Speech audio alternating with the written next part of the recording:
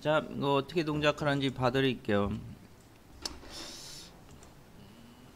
자, 지금 만들어 봤는데, 자, 이거 맨 처음에 사용자가 실행해가지고 루트를 입력한다 그랬죠? 그럼 어디로 간다고요? 디스패처 서블릿으로 가요. dispatcher servlet. 자, 그 작업이 웹, web.xml에 기술된다 그랬죠? 자, web.xml 가보면 이게 servlet mapping이에요. 사용자가 루트로 들어오면 app servlet 얘를 실행하라는 이야기예요. 이 servlet으로 보내라는 의미예요. 근데 얘가 어디 뭐 하는 애냐? 응? 디스패처 서블릿이에요.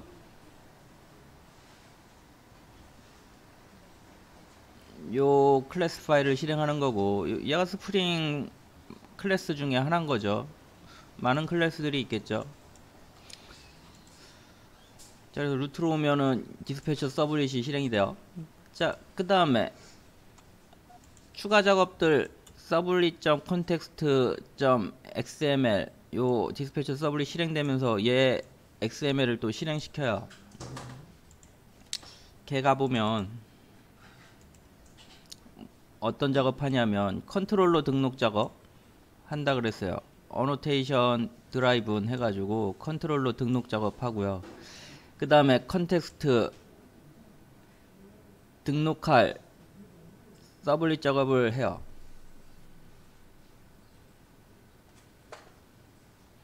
음, 패키지 작업을 해요. 여기 등록된 애들이 controller로 등록이 돼요. 다른 데 만들면 컨트롤러 동작 안 해요. 여기 등록된 애들만 controller로 동작해요. 그래서 반드시 클래스에 컨트롤러 붙이고 해당 패키지 안에 있어야 돼요. 다른 패키지 있으면 controller로 controller로 동작 안 해요. 그리고 컨트롤러 예외 사항을 주고 싶은 애들 주소 resource 등록해 주고요. 그러면 컨, 사용자가 루트 어쩌고저쩌고 루트 어쩌고저쩌고 하면 디스패처 서블릿에서 여기 기술된 부분 처리하고 있어요.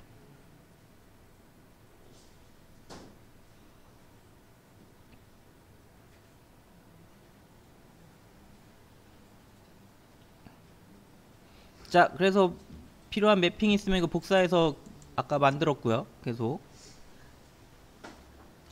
작업이 끝나면 home을 리턴하고 있죠. 이 내용도 servlet context에 있어요. 요 주소에 있는 JSP 리턴된 문자열의 앞에는 얘, 뒤에는 얘 붙여서 home.jsp가 실행이 되고 종료가 돼요. 그럼 사용자가 home점 루트로 오면 home.jsp를 확인할 수 있겠죠. 이게 예전에 보여줬던 그림인데 사용자가 루트 어쩌고 저쩌고 하죠. 그러면 루트 통해서 오는 애들 전부 디스패처 서블릿이 동작을 해요. 맨 처음에 루트로 들어오는 순간 프로젝트 실행하는 순간 dispatcher servlet이 생성이 되고요. handler mapping controller에 등록되어 있는 mapping을 찾는 거예요. handler mapping. 처음에 루트로 와서 dispatcher servlet 동작하고 화면을 주겠죠. 두 번째 루트 뭐 어쩌고저쩌고 오면 dispatcher servlet이 받을 거예요. 경로를. 그럼 handler mapping이 일어나요. 사용자가 입력한 주소랑 실제 해당 controller의 method 찾는 거죠. 찾는 작업이 일어나요. 있어야 동작하겠죠. 없으면 404 에러가 뜨겠죠. 없는 페이지라고. handler mapping, 주소 mapping하는 거예요. 사용자가 입력한 주소를 mapping하는 거고요. 매핑이 끝났어요. 핸들러 어댑터. 이 어댑터라고 어댑터라고 붙어 있는 클래스는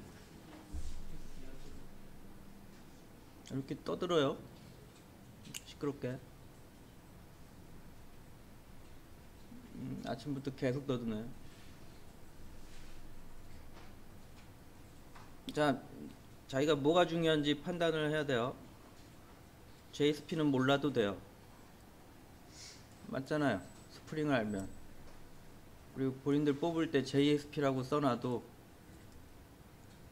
가보면 Spring하고 있어요.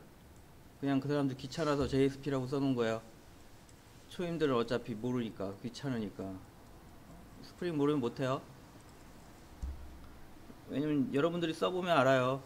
JSP로 10시간, 20시간 작업하던 거 스프링으로 한두 시간이면 끝나요.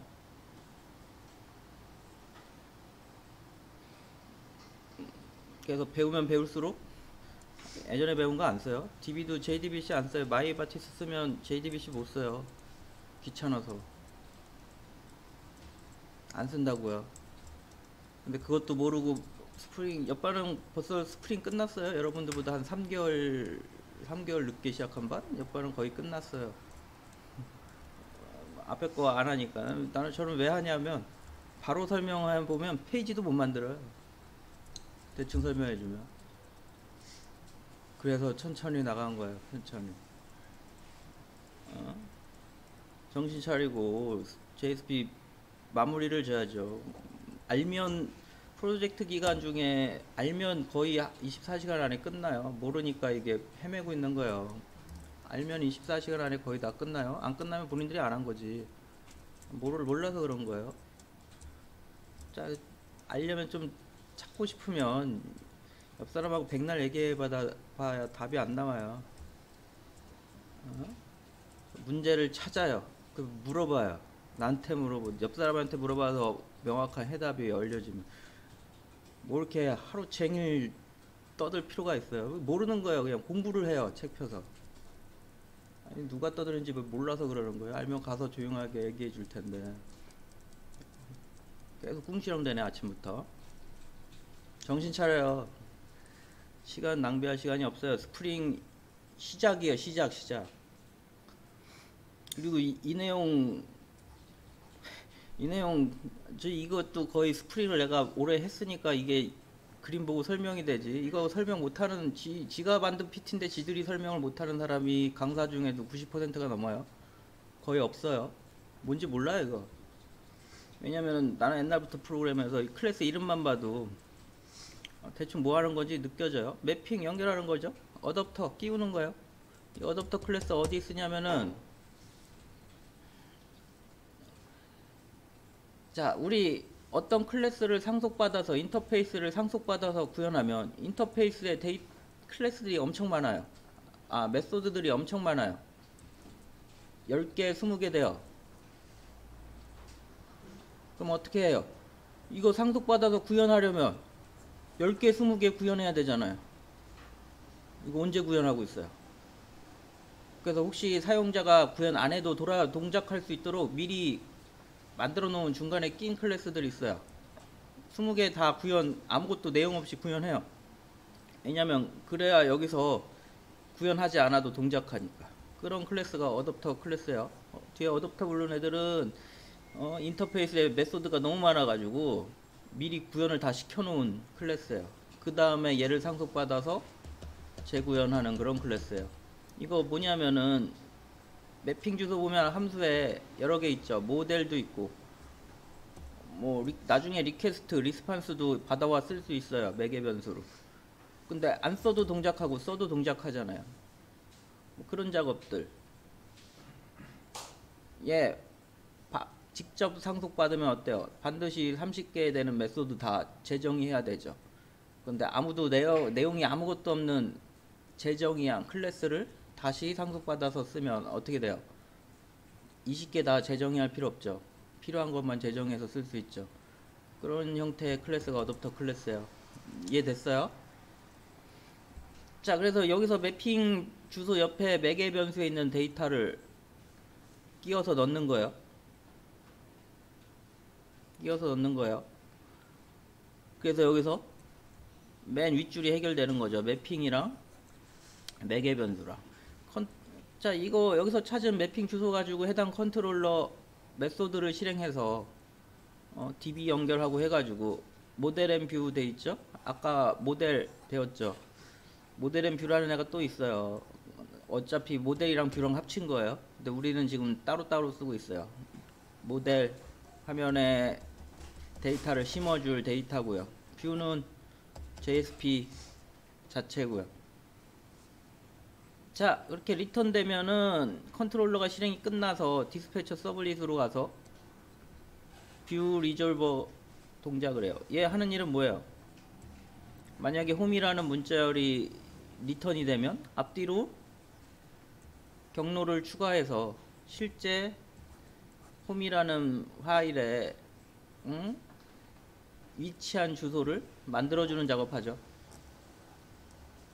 그 다음에 요 정보를 가지고 실제 view를 클라이언트에 보여주죠.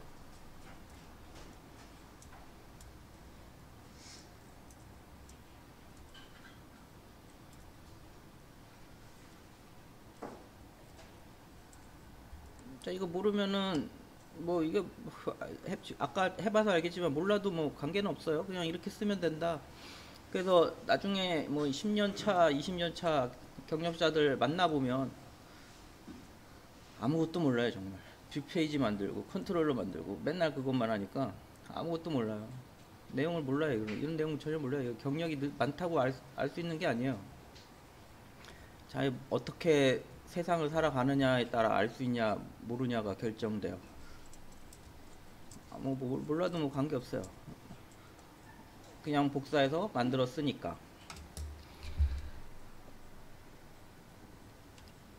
자, 마지막으로 정리해 드릴게요.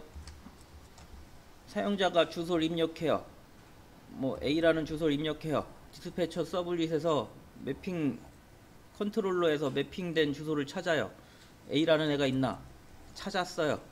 그럼 걔가 A가 필요로 하고 있는 객체가 뭐가 있나 확인해요. 여기서 만들어줘요.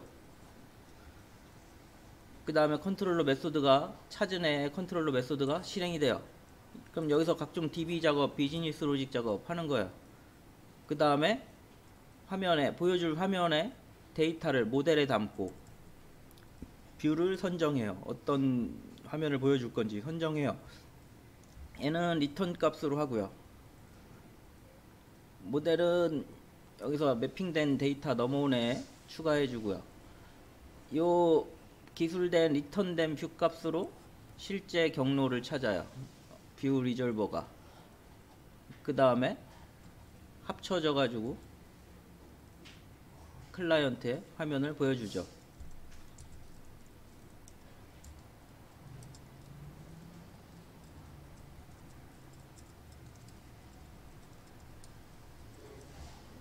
자 그래서 뭐 이 그림이 완성이 됐어요. 이뭐 이해가 되실지 모르는데 이해 안 되시면은 물어 옆 사람하고 물어보고 윗 사람도 모르면 손잡고 오세요. 뭐 이거 별 내용이 없어요. 처음 근데 이걸 이해하는데 책에 없어요. 있는 책을 못 봤는데 이런 내용 있는 거 동영상학자들이나 좀 있는데 설명을 잘 못해요. 뭐 이- 그리고 실제 설명하기도 어렵고 이게 너무 꼬여 있어서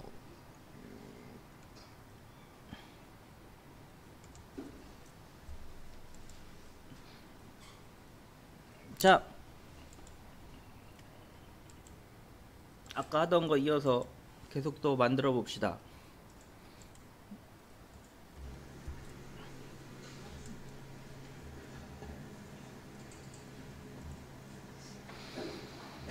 자, 우리 리플라이 하나, 리플라이.jsp 하나 추가해 봅시다. new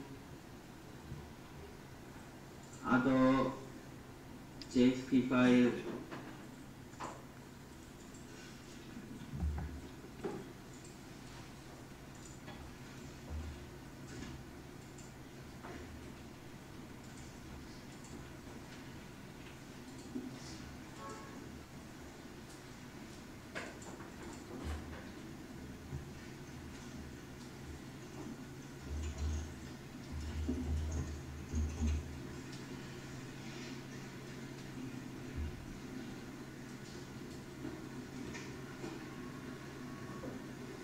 reply 자 이렇게 만들고요.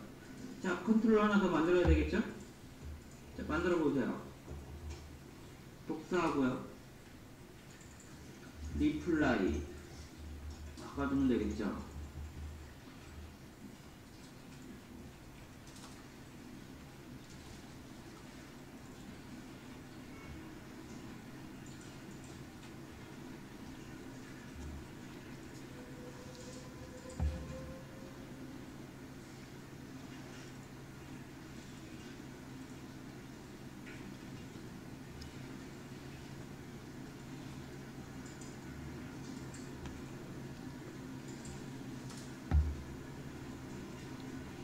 자, 이 부분을 다르게 한번 처리해 볼게요. 모델 직접 모델에 담아도 되는데 지금 같은 경우는 어때요? return mapping 주소가 아이고 return mapping 주소 잘못했네. 달- return mapping 주소가 reply로 가게 돼 있죠. 그런데 종종 중간에 바꿔야 될 경우가 있어요. 가- 담는 내용들을 코드에서 바꿔야 될 경우.